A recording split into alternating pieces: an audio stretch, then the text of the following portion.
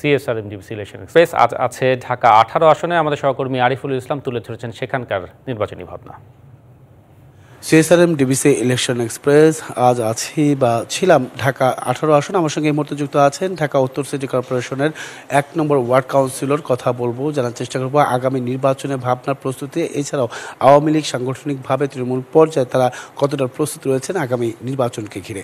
স্বাগত আপনাকে CSRM DBC election এক্সপ্রেসে শুরুতেই বলতে চাই যে আপনিও এই আসনটি থেকে এবার মনোনয়ন চেয়েছিলেন কিন্তু পাননি। সেক্ষেত্রে যিনি পেয়েছেন তার পক্ষে আসলে কাজ করবেন কিনা বা আপনারা আওয়ামী লীগ কতটা সুসংগঠিত এই আসনটিতে?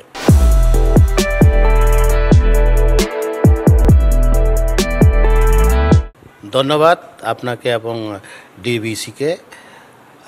আপনারা জানেন, এই এই এলাকায় আমি ঢাকা আঠারো আসনে প্রায় চার দশক ধরে এই এলাকায় আমি স্থানীয় দল সক্রিয়ভাবে করছি, একটি কর্মী হিসাবে। সেই হিসাবে জনগণের চাহিদা মোতাবেক আমি একজন প্রার্থী ছিলাম আওয়ামী লীগের। মাননীয় প্রধানমন্ত্রী একজনকে বেছে নিয়েছে। তারপরও আবার আপনারা জানেন, মাননীয় প্রধানমন্ত্রী এক প্রতিযোগিতামূলক যেন নির্বাচনটি হয় সেই জন্য স্বতন্ত্র করার জন্য অনুমোদন দিয়েছে। আমাদের এলাকায় এই প্রতিযোগিতা করার জন্য নৌকার বাহিরেও আওয়ামী লীগের লোক স্বতন্ত্র প্রার্থী হবে এবং প্রতিযোগিতামূলক নির্বাচন হবে। সেই জন্য আমাদের আমাদের থেকে দুই একজন নির্বাচিত স্বতন্ত্রভাবে নির্বাচিত করবে। যিনি স্বতন্ত্র হিসেবে দাঁড়াবে না, আপনিও দাঁড়াতে পারেন, আবার অনেকেই আছেন। তো যাকে দাঁড়ানো, দাঁড় করে দেওয়া হবে, সে কতটুকু আসলে কাজ করতে পারবে কিংবা নির্বাচনের মাঠে সেটিকে থাকতে পারবে কিনা, সেটা আসলে কীভাবে দেখছে ধন্যবাদ। আসলে আমরা যে আর খুশি সেই স্বতন্ত্র করতে পারবে। কি এবং প্রতিযোগিতামূলক নির্বাচন হবে। এখানে কোনো ধরনের কাউর প্রভাব হবে না।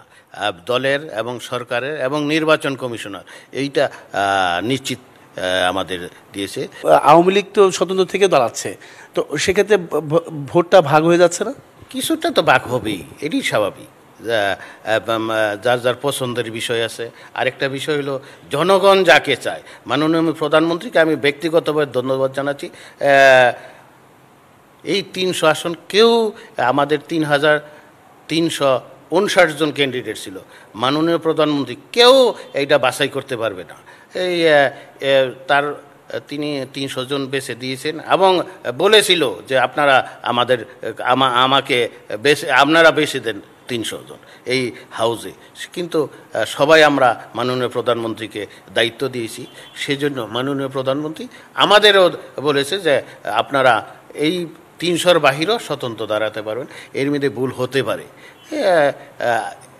এই তিনশো সারা দেশের বিষয় সেই জন্য আহ, সেজন্য যে ভুল হইতে পারে দুই চারজন পাশ করতে পারে সেইগুলো আওয়ামী লীগের লোকই নৌকার লোকই বঙ্গবন্ধুর আদর্শ সৈনিক তারা হইতে পারে। সেক্ষেত্রে তো তাহলে দ্বিধাদ্বন্দ্ব বা পরবর্তীতে কোনো ধরনের কোনো সমস্যা পড়তে হবে না?